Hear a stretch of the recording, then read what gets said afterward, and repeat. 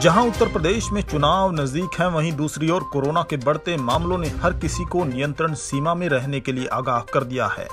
किंतु चुनावों की सरगर्मी में प्रत्याशी और उसके कार्यकर्ता जोश में होश खोते नज़र आ रहे हैं।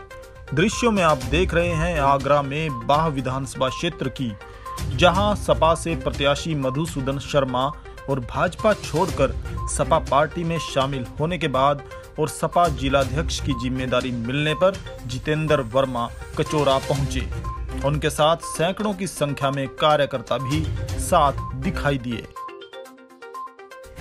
वहीं दूसरी तरफ़ आगरा खेरागढ़ से भाजपा प्रत्याशी भगवान सिंह कुशवाहा प्राचीन ग्वाल बाबा मंदिर के दर्शन के लिए पहुँचे थे।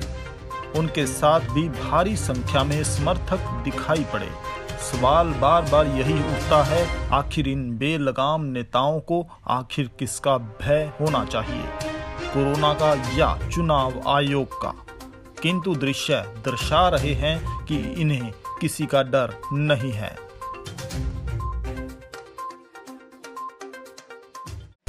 ताज़ा खबरों से जुड़े रहने के लिए सब्सक्राइब करें राष्ट्रीय खबर टीवी और बेल आइकन दबाना ना भूलें।